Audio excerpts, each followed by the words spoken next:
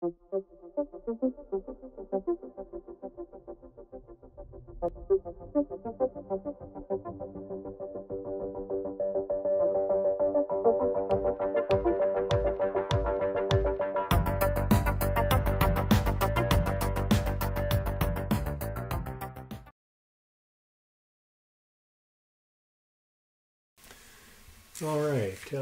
Going to finish this lecture by solving an example problem of the condensing unit. And the condensing unit, uh, we will have what we call shell side condensation. And in the condensing unit, we have steam at one atmospheric pressure that is being condensed. So shell side condensation, recall from the last segment, that means that the condensation is on the outside of the tubes. And we have horizontal tubes in the tube bundle, and they are aligned in a square array. And there are 20 in the horizontal and 20 in the vertical. The outside diameter of the tube, 6.35 millimeters and the length of our tube bundle we're told is one meter. The surface temperature of the tubes is maintained at 88 degrees C and given that we're dealing with an atmospheric pressure that means that the saturation temperature of the steam is 100 degrees C. And what we're told to find is the condensation rate. So that is m dot, and we're looking for this in kilograms per hour. So let's begin with a schematic of this problem.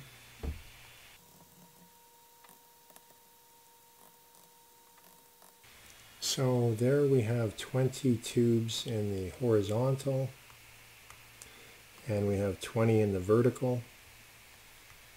And outside of the tube bundle, we have steam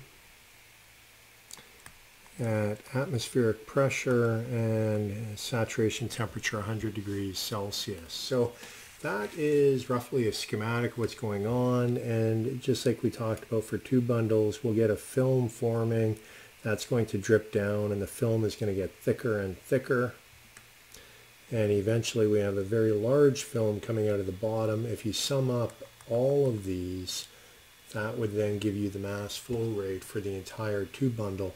What we'll do, we'll begin with a single tube, looking at the relations to give us the convective heat transfer coefficient, and then we will extend that with the relationship that we had for tube bundles by looking at a vertical column and, and then we'll multiply that by 20 and that will give us information about what is happening for the entire tube bundle in terms of the condensation. Uh, but to begin with, what we need to do, we need to evaluate the properties. So let's begin with that.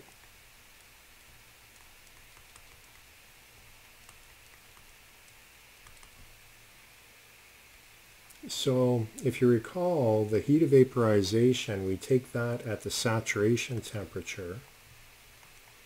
And remember to bring 10 to the 3 here because this is joules per kilogram. And the density of the vapor we also get at the saturation temperature.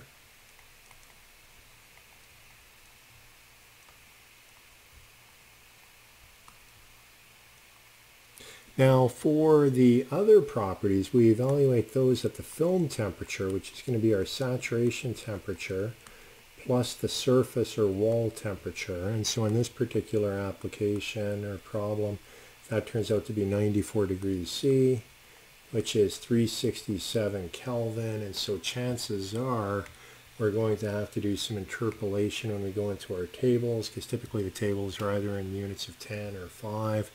Uh, but at 367 we have to do interpolation. So let's go into the tables, pull out the values, and I'll just write them down.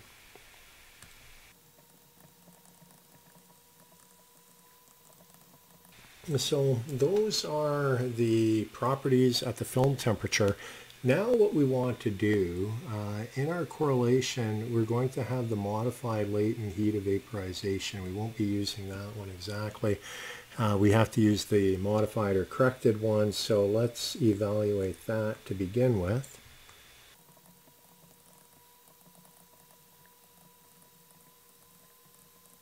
So we get that for the modified latent heat of vaporization, and we will be using that in our correlations.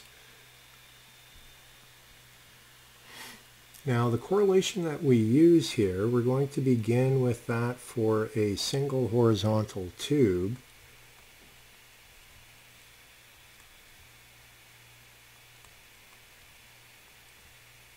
And this is assuming laminar flow. So what we can do, we can plug in all of the different values uh, that we obtained out of the tables as well as our modified heat of vaporization. And with this, we obtain a Nusselt number of about 157. And so we can take that and then evaluate the convective heat transfer coefficient for a single cylinder. And so that's what we're interested in obtaining. So doing that,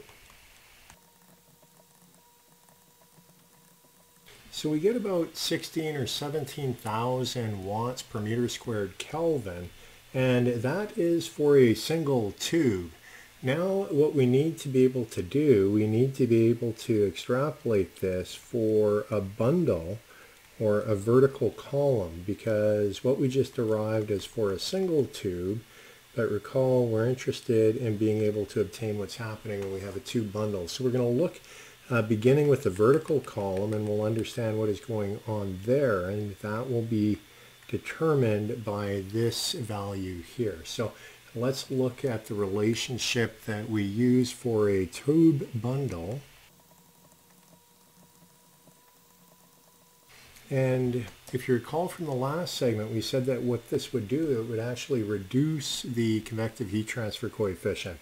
And the reason is that as the film grows on each successive tube lower on in the bundle, uh, the film itself acts as a bit of an insulating layer. And so that has the net effect of reducing the amount of the convective heat transfer coefficient and that's reflected in the negative that we have in the power here. So when you do that, you obtain the average convective heat transfer coefficient for the vertical column is actually a little smaller, and it's uh, 10,216 watts per meter squared Kelvin. So when we obtain that, uh, then what we need to do, remember we're after the condensate, and we want to know m dot coming off of this tube bundle. So now that we know the convective heat transfer coefficient, the next step that we're going to want to follow is to determine Q for the tube bundle, and once we get that, we can then solve for the mass flow rate by taking Q divided by the modified heat of vaporization. So that's where we're going. First step is going to be to get the uh, amount of heat transfer going on within this tube bundle. So let's begin with that.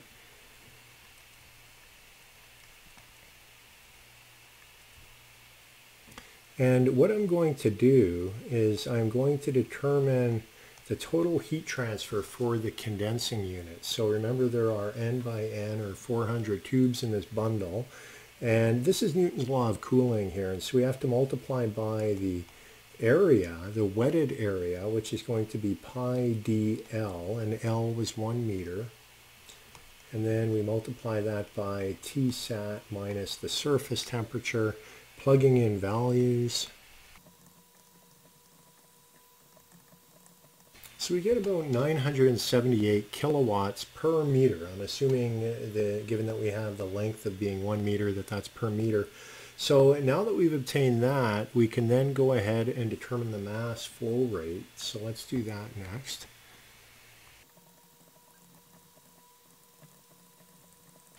So we then determine the mass flow rate, and that's kilograms per second and if you recall in the problem statement, they wanted it in kilograms per hour. So we multiply that by 3,600 or 60 times 60. And we then end up with about 1,500 kilograms per hour is the amount of water that this condensing unit would be able to produce from the steam coming in. Now, one thing that we should do, uh, we, we could declare victory and say that we've solved the problem, but really what we need to do, we need to check the Reynolds number uh, on each of these horizontal cylinders. And if you recall, we were using a relationship that was very much like uh, Nusselt's relationship, which was derived for a laminar flow. So this is what we were using, and it was modified a little bit to take into account a horizontal cylinder. Uh, but what we need to do, we need to check the Reynolds number. And so that's what we're going to do in the next step here.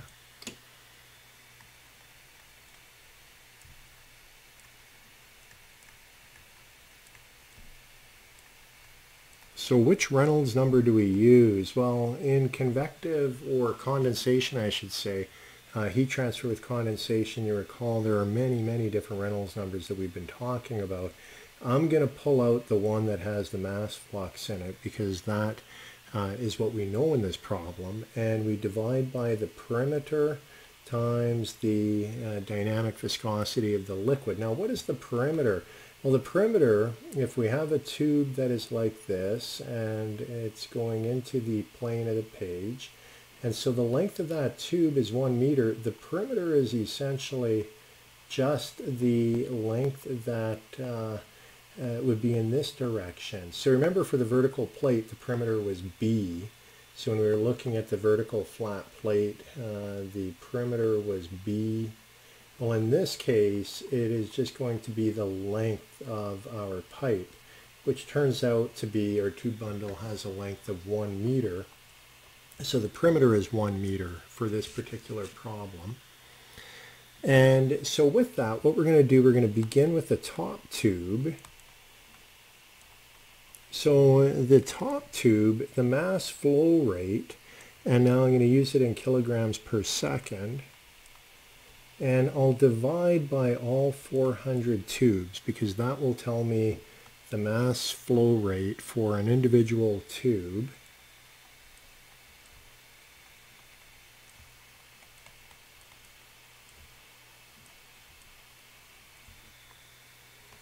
And so with this, plugging the values into the Reynolds number, we get 14.27, which is less than 30, and therefore it is laminar, so that's good, because Nusselt's relation was derived assuming that we had laminar film flow coming over.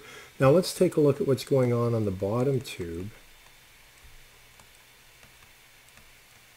And so in order to get that mass flow rate, it's essentially the one for a single tube multiplied by 20, because that would be the number of tubes in the vertical direction.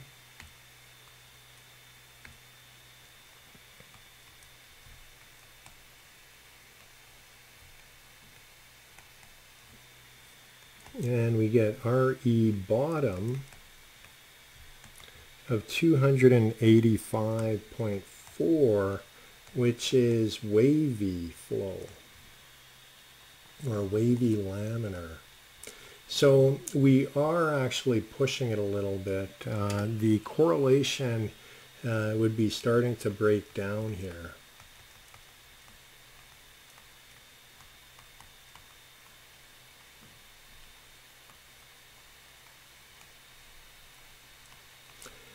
But I did not give you a correlation for a wavy laminar on a horizontal tube, and consequently we're going to have to take it as it is and assume that this is the correct answer. But, but realizing that we are pushing things a little bit because uh, by the time we get down to the bottom tube, uh, we have the case, even by the second tube, we multiply that by 2, we're pretty close to 30. So by the second tube in this vertical tube bundle, we're starting to transition and, and move into the wavy laminar regime. Now remember, turbulent would be at 1800, so we're ways away from turbulent, but we are in the wavy laminar regime. Uh, but anyways, what that does, that demonstrates a problem uh, for a horizontal cylinder and then how to determine uh, the mass flow rate for a condensing unit when you have a tube bundle. And, and again, that was for shell side condensation because the condensation was on the outside of the tubes.